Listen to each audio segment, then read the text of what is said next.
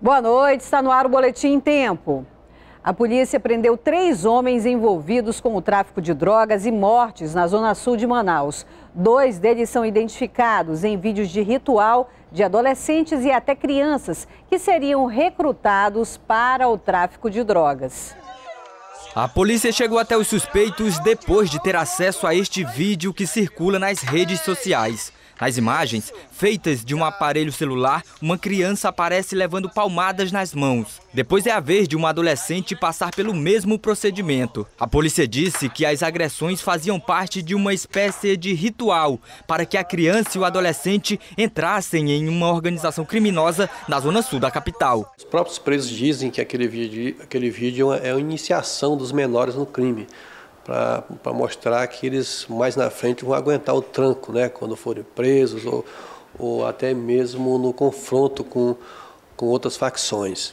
Pelo vídeo, a polícia identificou dois homens que incentivaram as agressões. Vanderlei Ribeiro da Cunha e o foragido da Justiça Leonardo Oliveira Figueiredo, apontado como o líder da quadrilha. O Leonardo, além de ser foragido, ele responde por latrocínio e tráfico de drogas. E o Vanderlei responde por porte de arma e tráfico também. Renato Picanço Cabral, que estava com os dois suspeitos em posse de duas armas de fogo dentro de uma casa no São Lázaro, Zona Sul, também foi preso. Todos foram autuados por porte ilegal de arma de fogo. A polícia também vai investigar o envolvimento de Leonardo e Vanderlei no vídeo onde a criança e o adolescente são agredidos.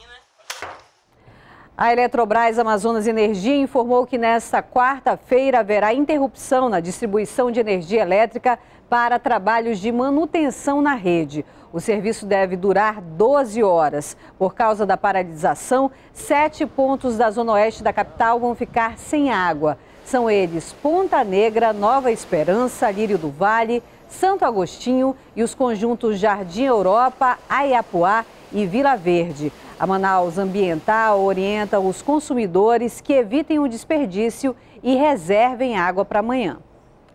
Eleitores enfrentam filas na manhã de hoje, enfrentaram né, lá no TRE. É que o prazo para o cadastro biométrico termina amanhã. E tem os detalhes para a gente a repórter Priscila Mello. É isso mesmo, amanhã vai ser o último dia para fazer o cadastro biométrico. O TRE vai suspender esse serviço por causa da eleição para governador aqui no estado em agosto. E quem não tiver feito a biometria não vai poder votar e ainda vai ter o título cancelado. Então, o eleitor que ainda precisa fazer o cadastro ou mesmo resolver algum outro tipo de serviço em relação ao título, amanhã aqui o Tribunal Regional Eleitoral vai fazer os atendimentos até às 5 da tarde. Volto volto com você ao estúdio. E o saque das contas inativas do FGTS para os nascidos em setembro, outubro e novembro foi antecipado. O pagamento que iria começar no dia 16 de junho, agora vai ser a partir deste sábado, dia 10. Aqui em Manaus, 20 agências da Caixa Econômica abrem das 9 da manhã às 3 da tarde, apenas para serviços relacionados ao fundo de garantia. Quem optou pelo crédito em conta também terá liberação antecipada, segundo a Caixa Econômica. 7 milhões e meio de trabalhadores em todo o país têm direito de receber o benefício nesta quarta fase do cronograma. E o tomate é um dos itens que deixaram a cesta básica de maio mais caro. O aumento passou dos 14%. Oito produtos tiveram queda nos preços no mês passado em comparação a abril. Mesmo assim, o preço da cesta básica aumentou 0,25% e o vilão da vez foi o tomate. As safras nos lugares de transição de inverno não são safras com qualidade. Você tem fungo, você pode ver aí eu mesmo vou comprar muitas vezes no supermercado, você tem aquele tomate redondo que vem de fora, com aquelas pontazinhas negras, não sei o quê. Então, são tomates assim sem qualidade, e aquele que se compra com qualidade, ele vai lá para cima. O tomate aumentou 14,12%, já a manteiga 2,2% e o café ficou mais caro 0,35%. Entre os produtos que reduziram, o preço do feijão apresentou a maior queda, 11,35%. Feijão que já vem apresentando né, seguidamente é, queda nos seus preços, convergindo para aqueles preços observados lá no início de 2016, quando ele começou a pegar aquela subida é, muito forte, né? A partir de outubro, assim, ele começa a perder peso e já no, no todos os meses de 2017, de janeiro a maio, mês atrás mês, ele apresentou queda. Antes, este feirante comprava o fardo do feijão por 220 reais. Agora encontra mais barato, mas, segundo ele, o preço pode voltar a aumentar. Hoje ele está uma faixa de 130, 110, assim, deu Teve essa queda. Teve essa queda. Mas em compensação ele está aumentando também, vai aumentar. Ele começou a aumentar de novo, entendeu? Não sei até quando vai chegar de novo. Em maio, o preço da cesta básica chegou a R$ 374,95 em Manaus. Mas tem gente que gasta muito mais. Adriana desembolsa 500 reais por mês. Depende do lugar, né? Tem lugares que está mais barato, tem lugares que está mais caro.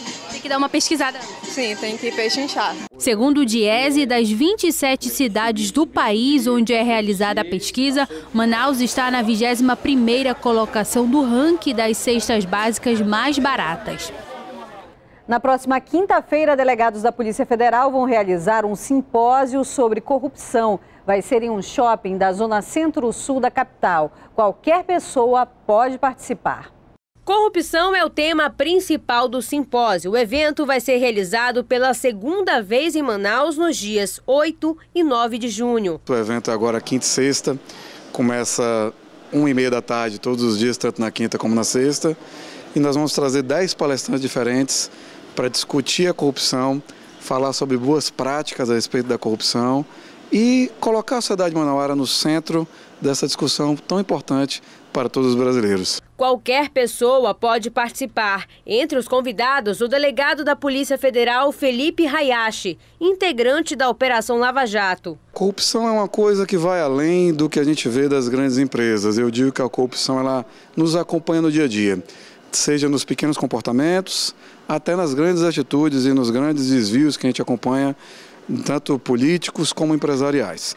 Então, o nosso comportamento diário, as nossas práticas do dia a dia, elas contribuem para que se reflita, se multiplique até chegar nas grandes investigações que combatem a corrupção. O valor da minha entrada é 90 reais. Os ingressos podem ser adquiridos na bilheteria do teatro no Manauara Shopping. Para outras informações, é só entrar em contato pelos telefones que aparecem na sua tela.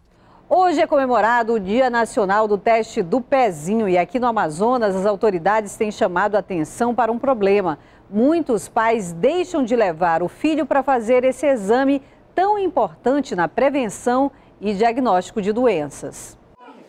O choro da pequena Giovana chega a doer no coração de quem vê a menina com apenas três dias de vida levar a primeira agulhada no pé. Dá dó, dói muito pra gente, pela chorar, dá vontade de chorar junto, mas fazer o quê? É para salvar vidas. É verdade, para salvar vidas. E... É importante mesmo, dona Cássia. Esse exame é o teste do pezinho. Ajuda a identificar doenças antes dos primeiros sintomas. E o melhor, pode salvar a vida dos bebês e evitar sequelas e limitações neurológicas. O teste nos primeiros dias de vida identifica mais de 30 doenças. Aqui no Instituto da Mulher, por exemplo, são feitos 425 exames todo mês. Pode diagnosticar um grande número de doenças, como a toxoplasmose congênita, a rubéola congênita, sífilis congênita, uh, hipotireoidismo, anemia falciforme e outras hemoglobinopatias. O teste do pezinho é bem simples é feito em crianças a partir das 48 horas de vida. Algumas gotas de sangue são colhidas do calcanhar do bebê e levadas para o laboratório. Mas a preocupação das autoridades de saúde aqui do Amazonas é porque muitos pais deixam de fazer o exame por descuido ou medo. É um exame simples, porém doloroso, porque recebe uma furada no calcanhar do neném. Então, às vezes a família não quer, mas aí a gente orienta a importância. O teste é de graça. Alguns hospitais só liberam os pais quando o procedimento é feito no recém-nascido. Dói um pouquinho, mas é essencial para o crescimento saudável do bebê. Eu sou Marcela Rosa e esse foi o Boletim Tempo.